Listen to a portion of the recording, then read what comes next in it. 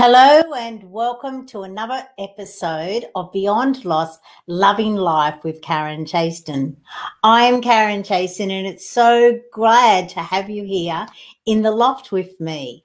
In the Beyond Loss Loving Life loft. Well, actually it's the the Chaston Center loft, but we today we are going to talk about how to move beyond loss.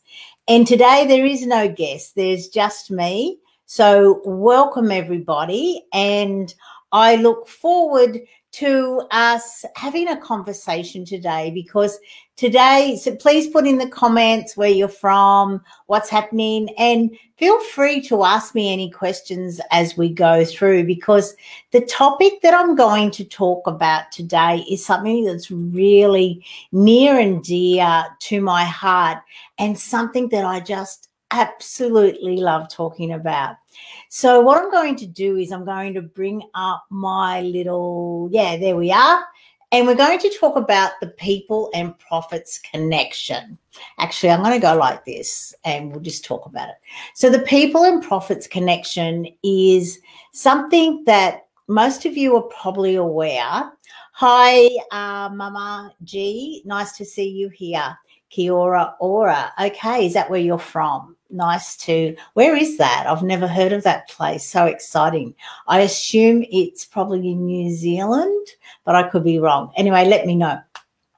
So the People and Profits Connection is as a former CFO of a publicly listed company, I understand how a company can make profits, obviously. I wouldn't have been a CFO if I didn't understand that. But now, as a Beyond Loss mentor, I understand people. And what I've found is that I wish I had this understanding when I used to be a CFO because most companies, the majority of companies, in my experience, and I'd love to know what you think, really do not understand or value their employees as their greatest asset. And that's what I'm going to talk about today is not only how people and leaders and companies can value all of their employees as their greatest asset. It's also about you, whether you're a leader or an employee, in how you can start to value you as your greatest asset. Because what I've found is a lot of the times when we are building our career and our professional life, sometimes we forget about ourselves. And it's in the forgetting about ourselves that we don't live and love our best life. So that's what I'm going to talk about today because um, it's, you know, as, as, as you can see, the show is beyond loss, loving life. And I feel that most companies are not really achieving their greatest profits and their greatest, they're not becoming the greatest company that they can become because of this one little loss. This one little thing that they've lost in their translation is the fact that they're not really looking after and valuing their people. So, how does that sound? I know it's a different topic to be on this um, on these website pages, but guess what? On these Facebook pages, but it's something that I feel that we all need to discuss. And it's about us figuring out how we can do it. Okay, so let me share my screen for a little while. And as I said, it's about the people and profits connection. So I'm going to ask you um, a question if I get my everything working rightly. So I'm going to ask you a question. Are you displaying traits, either you as an employee or a leader? Are you displaying them, or do you have people around you who are displaying these traits? Things like always complaining, procrastinating, coming up with excuses, perfectionism, you know, passing the buck, or being unmotivated. So let's deep dive into each of those on an individual level. Okay, so we'll come back to me. I just wanted to show you that. Okay, so let's look at complaining. Are you complaining all the time? And if you are, have you done a deep dive into yourself to actually figure out what that's about? You know, if you're finding fault in every single thing that you're doing, are you doing the right things? Like, are you in the right environment? Is there something inside of you, or is there something that you're missing that's unfulfilled that's making you complain about everything else? Like, are you nitpicking? That's a really good question for you to sort of deep dive into and for you to figure out because it's a symptom, it's not the cause. Actually, all of these are symptoms. They're they're not the cause of what's truly at the heart at the, the reason why we are displaying these traits or why our employees are displaying these traits. And a lot of the times, um, oh wow, Mama G, interesting. So it's about you actually saying to yourself or saying to your employees, what is it that you're complaining about? You know, what is the reason? Is it is it really about this issue or is it about something else in your life that you are finding unfulfillment about? You know, like when we're young, let's think about it. We sort of look to our future and we go, This is who I'm going to be, and these are the things that I'm going to do, and I'm going to have this amazing life. You know, no one designs or, you know, consciously wants a life where we have a lot of things being thrown at us and, and sort of stopping us in our track. But what I've found in not only in my own life, but in every other person's life who I assist to move beyond loss, is what I've found is there's amazing gifts and lessons in all of the tragedies and all of the things that didn't work out the way that we thought they were going to work out. There really is a gift when we deep dive into it.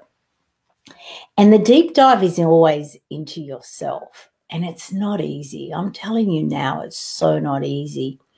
And it reminds me of, you know, Rumi actually would tell us that when Earth was being created, and I don't care what you call the creator, let's call it the creator because that sort of just trans, you know, works past any religious beliefs or anything like that. So when the creator was creating the earth, they decided that they wanted to put all of the treasures somewhere on earth.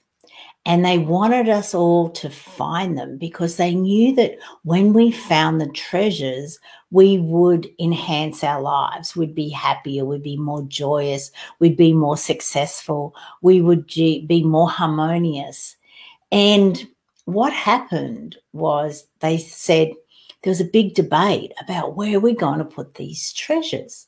So they decided that originally they said, let's put them in the mountains. It'll take them a long time to climb those mountains or to, you know, drill through them and do all those sort of things. They said, no, we're giving them intelligence. They'll very quickly do all of that.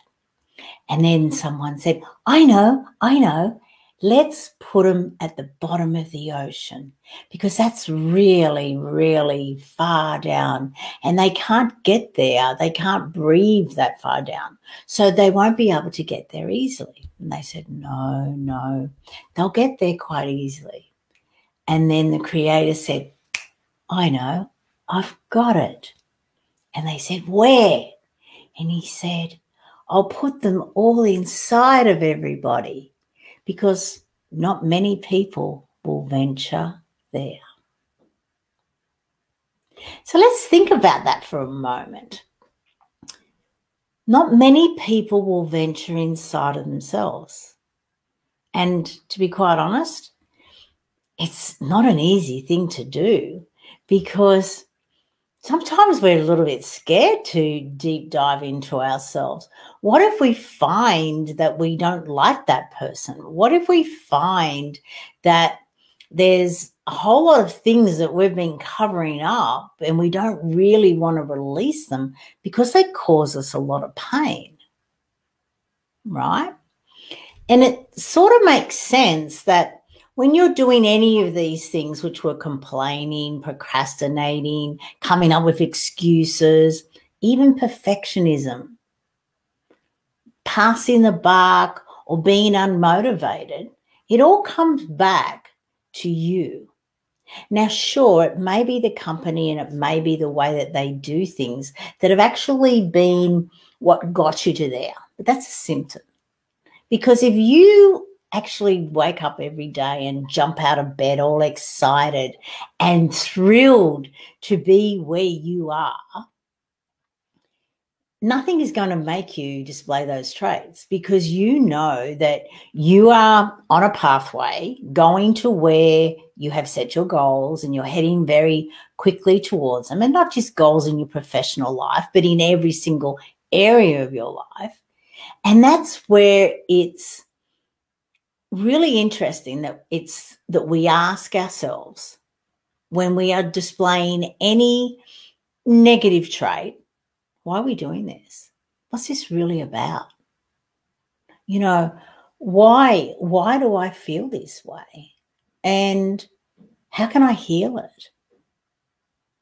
Because when we ask ourselves those questions we come to a place of not only finding the answers, but also designing a way that we can go from where we are now to where we want to be. And that's what life's about. It's about us, the destin. It's not about the destination. It's about every step that we take to get there. And let's face it, our life is a journey of us taking a step, heading towards where we want to be. And even when we get there, we want to be somewhere else because we're continually up leveling ourselves. And this is whether it's really important, right? Because today's theme is called the People and Profits Connection. And it's really important for us to all understand that we have all of these individuals in our company who are all on a similar journey of wanting to be joyous and happy and to provide for their family and to be healthy and you know mentally emotionally spiritually physically. Yet we get stuck. We get stuck in that pursuit. You know we might have a door close that we thought was going to be continually open to us or someone may say something or do something that wasn't ideal, and it takes us a while to get over it. Someone may pass. Hi, Glennis.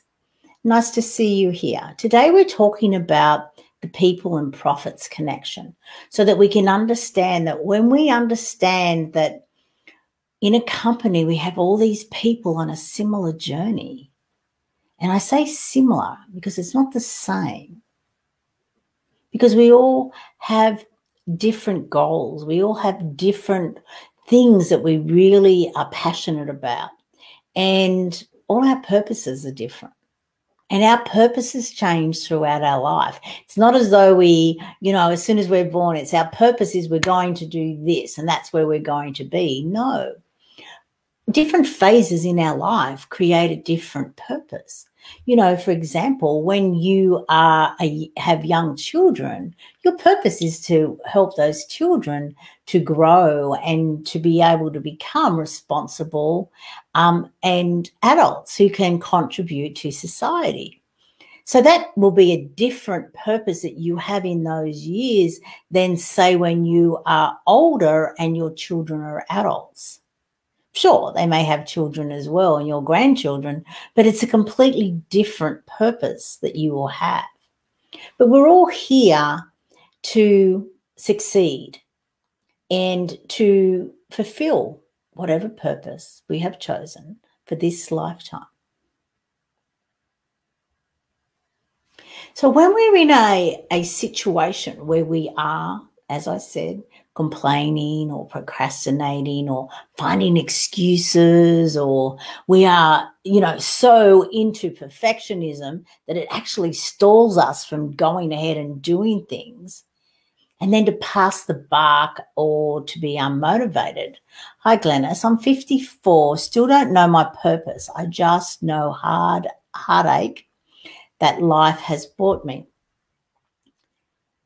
What I've found, Glennis, and I'm not about to tell you what your purpose is. If you deep dive into you, as I said earlier, um, you will actually find what your purpose is. But what I've found is your purpose, like your overall purpose, may come from the heartache that has happened in your life. Like, I, I know for me, that's exactly what's happened. You know, before my son passed away and before I chose redundancy, um, you know, nearly 10 years ago now, uh, well, nine and 10 years ago, well, eight and nine years ago, I I was a CFO of a publicly listed company. There is no way I would ever have been doing anything like this. There is no way that I would have been the one helping people how to move beyond any kind of loss. I didn't understand it. I hadn't deep dived into it. But through my life experiences and the pathways that I chose to take after Dan passed away in 2011, and then I chose redundancy in 2012, that I found that there must have been an easier way. I, I, kept saying to myself, surely there must be an easier way to move beyond loss. Now, as a CFO, every day I would say something similar. Surely there must be an easier way to do this. Surely there must be an easier way to do that. So I've always had this inquiry mind, as in, surely there must be an easier way for whatever it was that I was talking about. And, you know, relationships are not easy. There's so much things in our life that are not easy. So when we're always asking ourselves, surely there must be an easier way, you then sort of start to receive the answers to the questions that you keep asking yourself. Because let's face it, for every question we ask, there is an answer waiting to be revealed. And for every answer that is revealed, there's an, then an action step for us to take. And as we keep taking those action steps, we get closer and closer and closer and closer to finding that better way. And that's what I did because I didn't like the way that I did loss, and I didn't want anyone else to have to experience that heartache. So I went looking for an easier way, which is what all my programs are all about, because I help people to move beyond any kind of loss and to create their better everyday life. It's that simple. And that's why I love talking about the people and profits connection. Because most people in a workplace do not understand that every single person that comes up or rocks up to work every single day have their own little issues going on in their life outside of the walls of this company. Yet we so often the leaders and the managers want you to be one dimensional, just to rock up today and just do your work and then go home. But when you've got so many things going on in your life that are not ideal, how can you do that? And that's what I love to do is I love to show companies how they can get their employees motivated, how they can assist every single one of them to be able to feel um, motivated to collaborate, you know, to learn more, to actually want to learn more, and to value the feedback that they are giving. Because, you know, one thing I've learned in my journey since leaving my corporate life is feedback is the best friend that you can ever get do you have to take it always on board? No, maybe not. But it's through you actually receiving feedback that you can then say, is this right? How can I grow from this? How can I learn from this? What is this actually about? Is it about me or is it about them? And then you can actually just go find from them. And let's face it, We can always give better customer service no matter who we are in any company. And the more that we grow the company through return on the investment, the more that we can actually, you know, love going to work every day. Because if the company's not stressed, then you won't be stressed. It's that simple. So let's have a look what Glenys has to say. I don't know if that answered your question in in assisting you on how to figure out what your purpose is. Um,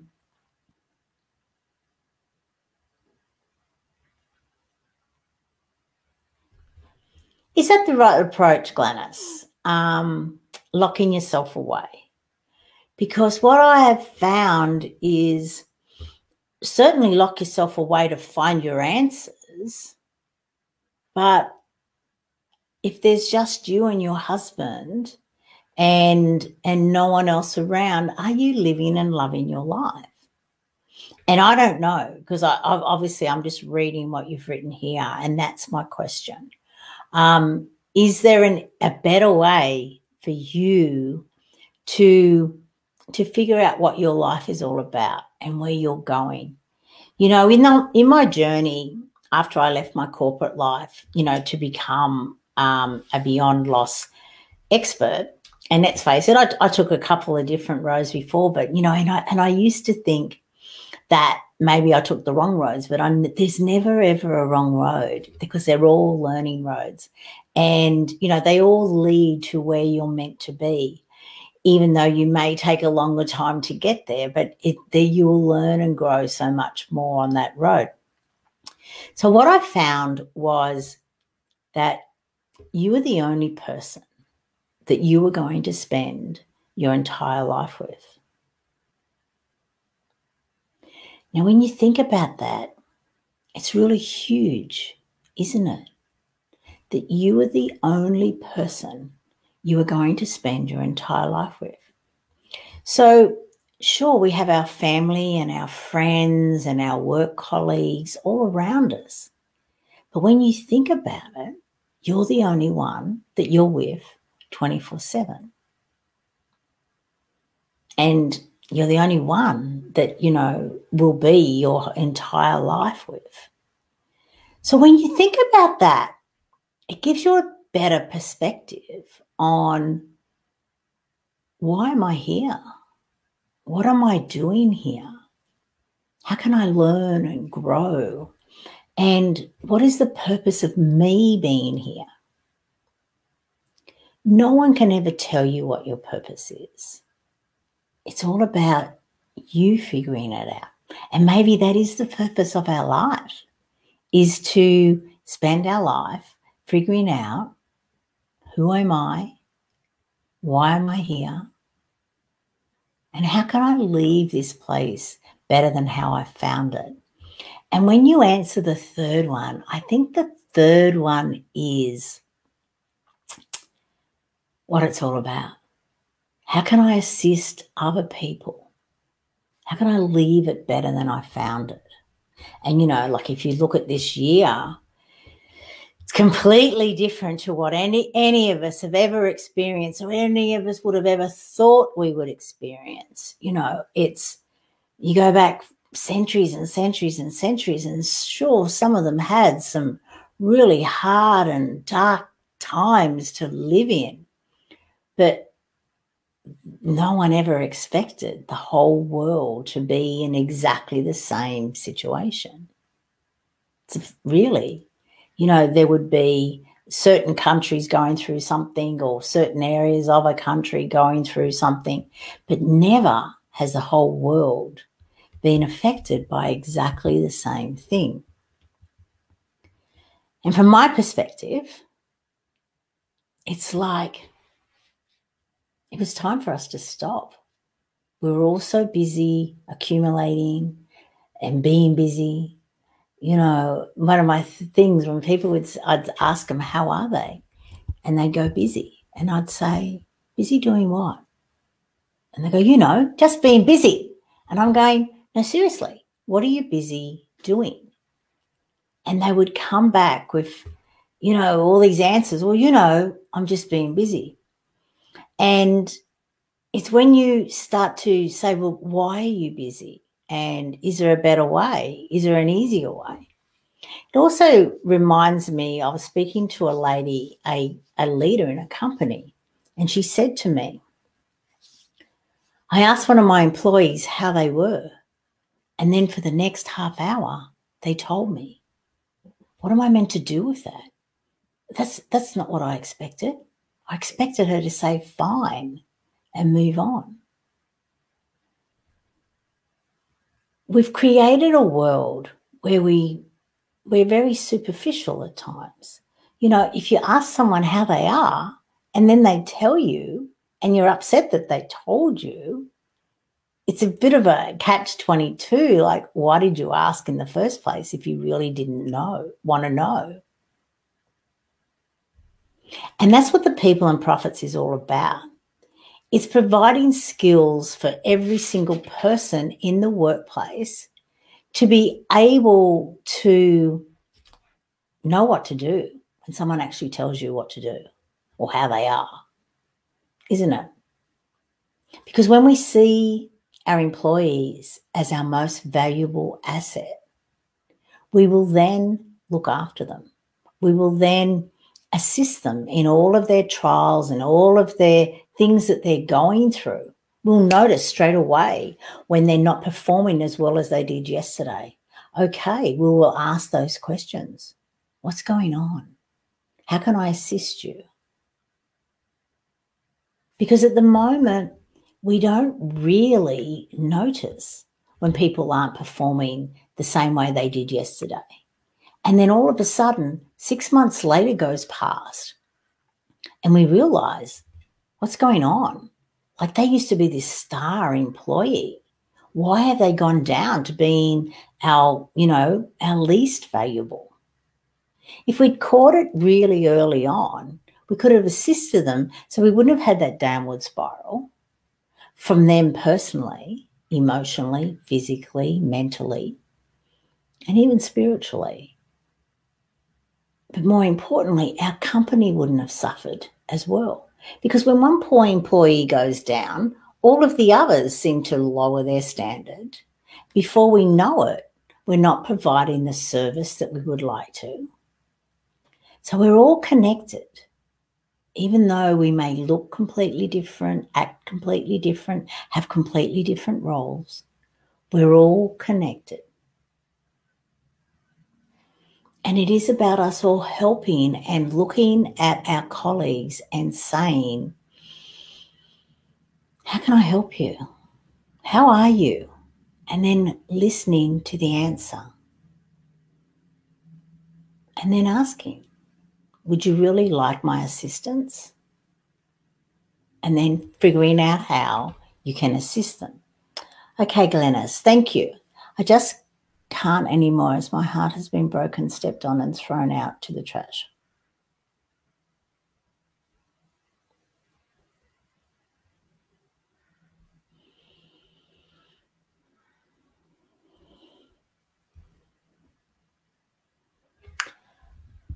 Glennis, I totally understand. But if you would like to be able to move beyond loss, may I suggest, and I'll just put up my banner, may I suggest that you start by downloading my book, Life After Loss? Because things come into our life to assist us to learn and to grow and to become the person that we're meant to be. So I would really love for you to read the book and then reach out. Um, you'll see as you go through the book that there is a, um, you'll see as you go through the book that there is actually a, a way that you can book in and have a, a 30 minute session with me for free, complimentary. Um, and we can talk about it because the last thing I um, want is for people to be suffering. There's no need for us to grieve and suffer. There is no need um, for us to take so long to do that deep dive into ourselves. And, and that's what it's all about. Um, thanks, Glennis. And I really do hope that you um, download it. What I might do is because you can't see it, and I don't have it copied. Normally I have a copy. Uh, what I'll do is I'll type it in here as well so that you can um, that you can actually figure out how to move beyond all that has happened in our life. And I totally understand, you know, as you said, if it's happened from the womb forward, there's a there's a lot to heal. Um, you know, you've got over 50 years, I think you said you were, did you? Yeah, 54. So you got like 55 years of healing um, to be able to come to the place where you can live and love your life. And that's what I, you know, just love. Let me make sure I've just typed this right. Life after loss. There you are. So if you click on that link that I've just typed in, you'll be able to very easily download the book and um, have a read of it and then reach out because oh, it didn't go in. Why didn't it go in? Karen Chaston.com life after loss. Um, I don't know why. Let me type it again and see if it works. This is so much fun doing things live, isn't it? So that we can. So does anyone have any questions why I am typing this um, in regards to anything? Yes, it's in. Oh, okay, cool. It just took its time. Okay, I don't need to retype it again. Okay, thank you. Hope that uh, works. Okay, is there any other questions from anyone? Because today is all about you figuring out how you can like live and love your life and and of course how we can create a work environment where every single employee lives and loves their life. Now, let's just think about that for a moment. Just imagine, say you have 50 employees, every single one of them rocks up each day, healthy, energized, ready to do a full day's work. And when I say a full day's work, it's not 10, 12 hours, it's seven Okay, I'm going to say seven. Seven's a really good number because what they produce in those seven hours, they get to go home early because they they know that they have looked after themselves when they have gone home early. That hour early, just imagine, right? Everyone got out after working seven hours instead of eight. You still get paid for eight. So don't get worried. You still get paid for eight, but you're only going to work seven hours. No more 10 hours, no more 12 hours. We're working seven hours a day. And the reason we're working seven hours a day is because we would like you to do something for you in that hour, that extra hour that we have given to you. Now, it could be that you choose to go to the gym, or it could be that you choose to go out into nature, to meditate, to do something just for you. It could be that you choose to catch up with a friend. Hi, Kerry. Nice to see you here again. Could be that you choose to catch up with a friend for that hour, a different friend every day. Okay. Now you're still being paid for eight hours a day you're only working physically seven, but that other hour is the time, your time. I'm going to call it me time because it's such a beautiful concept. Can you imagine every day, five days a week, we all have an hour me time? It's five hours, right? That's actually being paid for by our employer. Therefore, when we go home to our family, we are relaxed. We're not stressed because we've had that hour to do whatever we wanted to do for ourselves.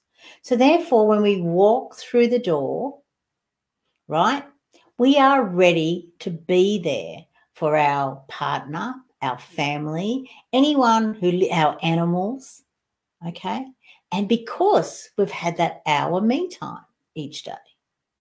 Therefore, we will have better conversations. We won't just slump onto the couch. Sure, we might watch TV later, but we won't be spending the whole time we're home doing it. It does sound good, doesn't it, Kerry? But it can be quite easy to happen. So then we can go to bed. And then, of course, the next day we wake up early and we choose to do whatever we want to. And then we rock up to work ready to work because we know that we only will be doing seven hours, but we will really get in and make sure that it will happen. And then we have our hour me time and then we continue on. So every day flows on like that. Now let's think about it. From an employer's perspective, they may be thinking, I'm paying them for eight hours, but they're only working seven. But do you know what? They are more productive when I paid them for eight and they stayed 10, 12 hours. I am actually receiving more from them because they are having that hour me time every day. So they're not fulfilled. They're not having their whole body scream out, What about me? How come I'm giving, giving, giving, giving, giving and receiving nothing for me? But they're also having time with their family and their friends, and they're looking after themselves mentally, physically, emotionally, spiritually. They're looking after all of their relationships. So just imagine this company, how it is going to thrive, not only from an employee's perspective, but also from a customer perspective. Because let's face it, when we rock up to work energized, happy, joyous, knowing that we will be there for that set amount of time, knowing that the more that we do, the more that we process in that time, the more that our employer will continue to give us that hour me time every day. Is the company going to thrive or is it going to dive? It's pretty easy to know the answer to that, isn't it? The company is going to thrive because their employees have really got everyone's back. They know that the more that we do, the more we collaborate together, the more we work together, the more we look after and value everything that we do, we no longer will be sitting around procrastinating, um, being competitive with each other, being unmotivated. We understand that there's no such thing as perfectionism, but we know that there is still a standard that we can easily come to without perfectionism. And that's what I wanted to talk to you today about because there's a huge loss in most companies in the fact and they don't even realize it's a loss in the fact that they're not valuing and treating their employees as their most valuable asset. It's a really easy focus shift that they can do. And that's the biggest problem with employees being classed in the profit and loss because it's seen as an expense. It's not seen as an investment. Therefore, they don't maintain their employees. They don't invest in them. They don't provide training and upskilling and ensuring that they are healthy mentally, emotionally, physically, and spiritually. So that's what I wanted to talk to you about today because I know that when employees and leaders are treated that way, the company will thrive. And when the company thrives, our communities thrive. And when our communities thrive, our state thrives. And when our states thrive, our country thrives. And then it flows out into all of the world because the best practices will be seen as this is the way we ensure that our people and profits are thriving. It's really simple. We've all made it so hard. We've gone into this world of competition, of things are never meant to be easy. But do you know what? They can be easy. So that's all I'm going to share with you today. How every single company can embrace the people and profits connection. Because it does sound ideal Kerry, and it's really easy for all of us to actually maintain. There are even some companies already doing that. There's one company in the States that works a five hour day. every day. Sure, every now and then when they've got something that really requires, you know, a deadline to be met, they may work a little bit longer. But every day, the norm is they work five hours a day and they all get paid for eight because they've utilized all of the different ways to ensure that they can still be very productive and there for those hours. And then they have all those other hours to look after themselves to ensure that when they do rock up, they are present and they are there for that time and nothing else. So that's my show for today how you can move beyond loss and love life, to live and love your life. That's what it's all about. So if you don't have any more questions, I'm going to leave you all today. And I'd like to thank you all for being here. Glennis, I hope that you have downloaded my book, Life After Loss, um, and anyone else, of course. So thank you all for being here. I don't think there's anything else. So bye for now. And just think about it.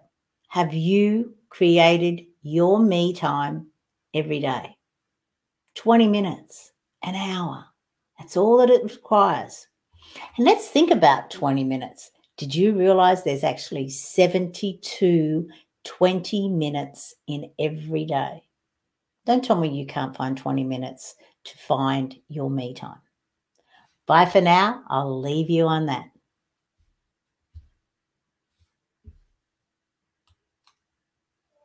Thanks, Kerry.